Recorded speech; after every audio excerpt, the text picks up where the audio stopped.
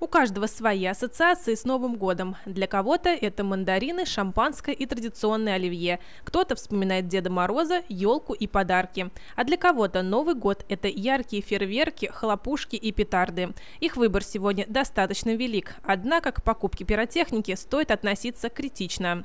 Самое главное, чтобы не была нарушена целостность упаковки, чтобы фитиль был всегда заклеен, чтобы хорошо читалось все правила, и срок годности желательно, и, конечно, чтобы хранилось в сухих помещениях.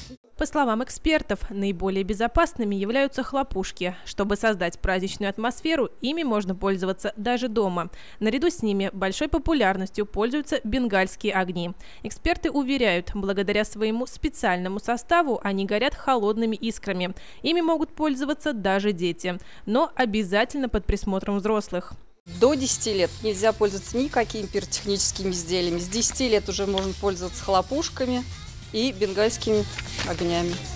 При покупке салютов, фейерверков, петард и римских свечей необходимо знать, что такая продукция имеет 5 классов опасности. Например, новогодняя пиротехника 4 и 5 класса используется только профессионалами. Салюты и фейерверки, как правило, относятся ко второму и третьему классу. Все салюты необходимо ставить на ровную поверхность соблюдать безопасную зону. Это до 30 метров. Не наклоняться над изделиями, когда поджигают. И обязательно как-то укреплять, чтобы исключить опрокидывание фейерверков.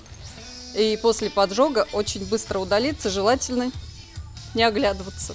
Пользуясь пиротехникой, главное – соблюдать правила безопасности, и тогда праздник останется праздником, а не превратится в день, когда кто-то получил травму. В наши дни фейерверки все чаще дополняют праздники или эффектно завершают любое торжество, или даже сюжет. Кристина Сладкова, Антон Сердюков. Вести детально.